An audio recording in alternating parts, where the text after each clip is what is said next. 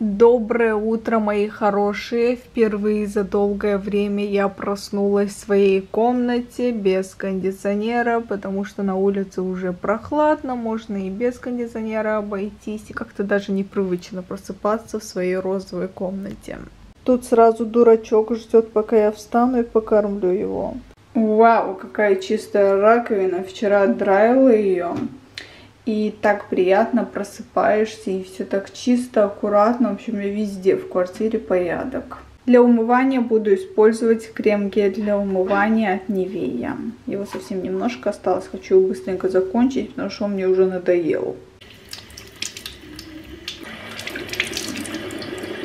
Прическа, конечно, у меня не вау, а еще у меня появились прыщи. И это очень сильно меня напрягает. Я боюсь, что моя проблема с прыщами опять вернется. Не дай бог, конечно. Я так радовалась, что я избавилась от этой проблемы сыпь на лице. Я буду использовать тон от Enough 8 пептидов. Мне все хочется сказать тон от коллаген. Наношу его пальчиками очень мне нравится этот тон. Мне в комментариях советовали его купить. В общем, что я вам хочу сказать. Я так кайфую от того, что я живу одна. Это просто кайф, девочки. Как бы это ни звучало, но я как-то чувствую себя взрослой. Хотя абсолютно одна. Ко мне никто в гости не приходит особо. Мне нравится эта домашняя рутина, где-то что-то убирать. У меня, кстати, порядок. Ну так, относительный порядок. И вот иногда я задумываюсь о том, что у меня есть отдельная квартира. Я, по идее, могу жить абсолютно одна. Почему бы не переехать на свою квартиру и жить как взрослый человек? Я вообще стала очень собранной, очень много всего успеваю. И дома убраться, и приготовить что-то к мукбанку, и искупаться, и себя в порядок привести. Жить одна, это просто идет мне на пользу. Я уже не боюсь абсолютно у нас сформированный график с Твиксиком. Иногда я думаю, что когда квартиросъемщики в следующий раз выйдут, просто собрать свои манатки и переехать на свою квартиру, и все, жить припеваючи, радоваться жизни. А с другой стороны, я понимаю, что сейчас не лучшие времена для таких решений.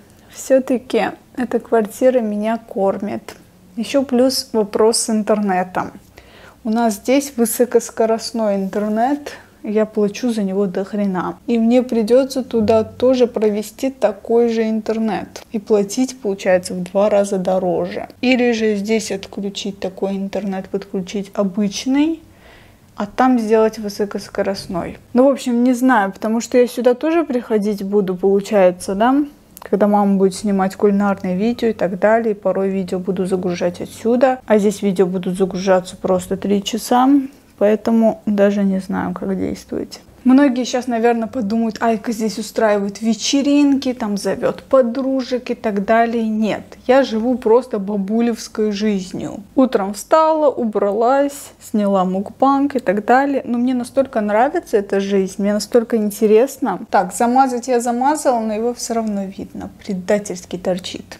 Тон, конечно, пушка. Вообще.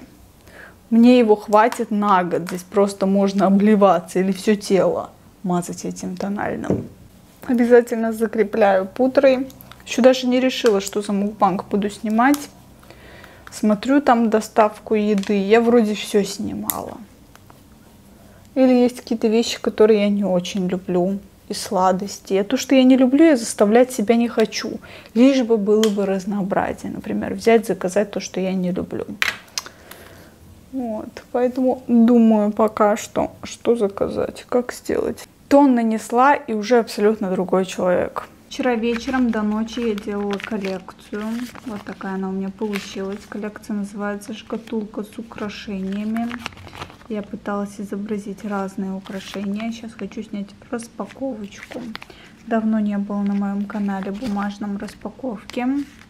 И это вот такая шкатулка, которая открывается и закрывается. Прикольно получилось. 8 пакетиков всего здесь. И сейчас хочу снять распаковочку. Давайте еще в каталоге покажу для тех, кто не подписан на мой бумажный канал. Вы очень многое теряете. Здесь такой чехольчик. Посмотрите, 3D наклейка. И это наша новинка. Это типа шкатулка. Она открывается. И здесь тоже у нас будут наклейки, всякие украшения нам будут попадаться. Коллекция всего на одну страничку. И здесь больше ничего нет, но у меня есть идея, что я буду делать. А на улице солнечная погода. Смотрите, какие чистые у меня стекла. Я молодец, даже вымыла стекла. Какая я стала самостоятельная, ужас. Я сделала красивый макияж к мукбанку. В кои-то веки у меня получились одинаковые, аккуратные стрелки. Осталось только помаду. И вдруг я понимаю, что мне неохота снимать мукбанк. И в комментариях меня спрашивали, что ты делаешь, когда у тебя нет вдохновения.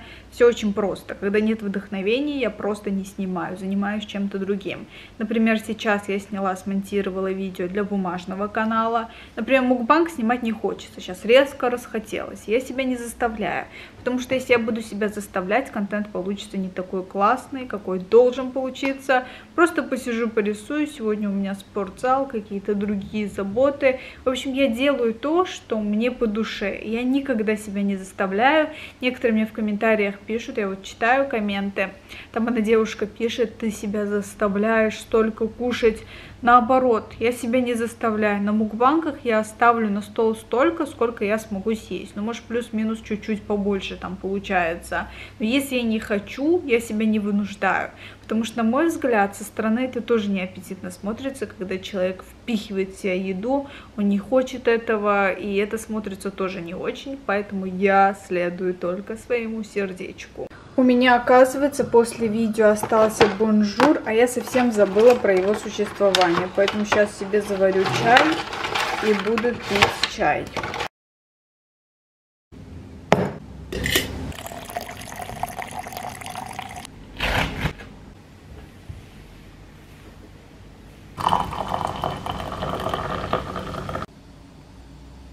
А я пересматриваю сериал «Клон». Хотела просто посмотреть первую серию уже на 17 -й. Рисую и параллельно смотрю. Такая ностальгия прям. Дома действительно в одиночестве пить чай было скучно, поэтому я решила направиться в магазин, купить что-то к чаю, а потом к брату. Здесь конфеты всякие, но я все-таки решила взять такие батончики. Мне они очень нравятся и к чаю самое то. Обратите внимание на это платье. Я его просто ненавижу, когда я его хожу, оно просто открывается и получается стриптиз. Даже не знаю, что с ним делать. И дома носить неудобно, ткань не дышащая, и на улице такой казус, просто проще ходить в шортах. На следующее лето я закажу дофига себе всяких шортов. Когда я пришла к ним, булочка, пузечка уже спал. Посмотрите, как он сладко спит. Я прям не могу. Посидев там немножко, я направилась в магазин, и это была, честно, каторга. Мне хотелось просто все купить, но мне нужен был пинцет. Действительно был необходим он, поэтому я пошла его покупать. Были разных фирм. Лучше, конечно, взять Starlex, но я взяла другую фирму. И все-таки я кое-что прикупила. Наконец-то взяла фон, вроде как самый большой. Не знаю, если он тоже будет маленьким, уже я не знаю, что делать. Это для мукбанка.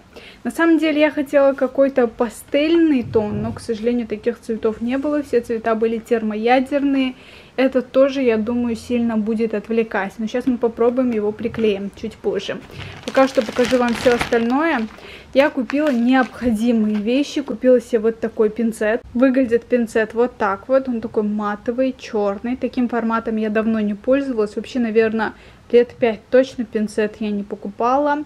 Но вдруг я обнаружила, что хороший пинцет мама увезла в деревню, я осталась без. Поэтому решила себе тоже прикупить, уже аккуратно пользоваться, а то у меня все теряется, особенно такие мелочи. Посмотрим, как он будет в работе. Покупки все-таки есть, но это необходимые вещи. Мне уже давно нужен был тоник, у меня закончился. И мой любимый от Нивеи его не было, поэтому пришлось взять от Гарниер. Надеюсь, что это тоже мне понравится. Без тоника я никуда. После того, как я начала пользоваться тональным от Миши, многие мне в комментариях писали, что корейские BB-кремы, они очень плотные, и их сложно смыть обычной умывалкой, поэтому нужно купить еще и скраб. Я купила себе вот такой вот, он совсем недорогой, стоит копейки. Хотя бы один раз в неделю буду использовать скраб для отшелушивания кожи. К сожалению, как я и предполагала, фон оказался маленьким. Я даже думала, может, два таких одинаковых фона купить, но даже два не помогает. Надо четыре брать, потом клеить между собой. Мне кажется, проще купить просто другой. И цвет тоже меня не устраивает, поэтому обломчик, девочки, новый фон нам не видать. Я думаю, может быть, ткань купить и сделать здесь как карниз и каждый раз вешать разные ткани, чтобы был разный задний фон. В общем, надо что-то придумать. А если вы знаете, где в Баку можно купить большой фон, то обязательно пишите мне в Инстаграм. Потому что я хочу сделать разнообразие, чтобы во время мукбанка вы видели не просто такую стену, а время от времени какие-то разные цвета. А этот фон я постараюсь использовать, когда я буду снимать бумажные сюрпризы. Во время распаковок, мне кажется, будет очень удобно. Такой розовенький фон, но тоже яркий, конечно. Ну, куда деваться. А у нас потихоньку солнышко уже садится. Девочки, помните, мы с вами говорили про год без покупок, что я не буду покупать ненужные вещи и так далее. В общем, я смотрела «Дом 2» и увидела девушку в юбке с принтом доллар. И мне настолько понравилось, я пыталась найти на шее, оказывается, здесь просто куча всего с этим принтом и так много заказов. Посмотрите, какая красота.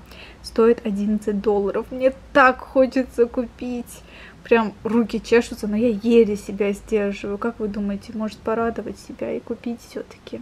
И если я все равно делаю заказ, то, пожалуй, стоит взять и вот такой топик классный. Стоит он 15 долларов. Но мне нравится.